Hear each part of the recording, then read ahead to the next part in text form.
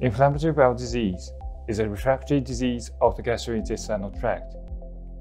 Ulcerative colitis and Crohn's disease are the two representative types of disease, and in both diseases, idiopathic inflammation and mucosal damage arise in the patient's GI tract.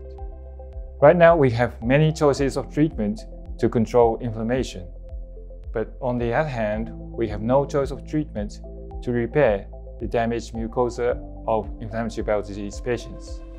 Today, I would like to introduce our challenges to establish organoid-based regenerative medicine for inflammatory bowel disease patients. To repair the damaged intestinal mucosa, we need the help of intestinal stem cells.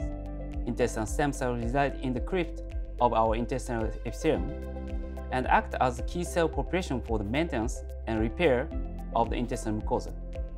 Using the organoid culture technique, we can now expand the intestinal stem cells ex vivo. Intestinal organoids are spherical monolayer of epithelial cells, composed of epithelial stem cells and differentiated cells. To produce patient-derived clinical-grade intestinal organoids, we established our original organoid culture method using GMP-grade factors and clinically approved collagen matrix.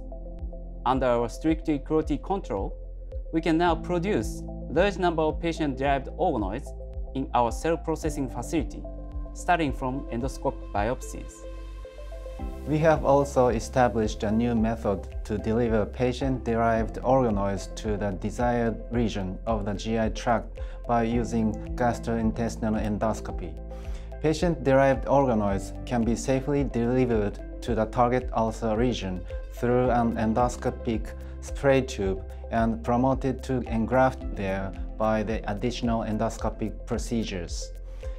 Based on these cell processing and endoscopic techniques, we are now running a first-in-human clinical trial for ulcerative colitis patients. In the study, we uh, are performing adult stem cell autologous organoid transplantation to repair the damaged mucosa of ulcerative colitis patients.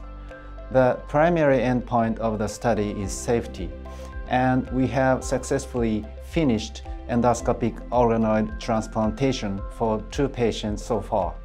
We will evaluate and confirm the result of the study after a year follow-up of the patients. Our challenge to establish organoid medicine for inflammatory bowel disease patients has just reached the very early phase of the clinical trial.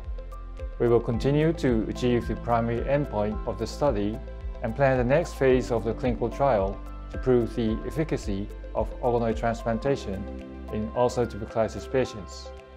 Also in the future, uh, our organoid transplantation could be used to treat the damaged mucosa of other refractory intestinal diseases, such as Crohn's disease.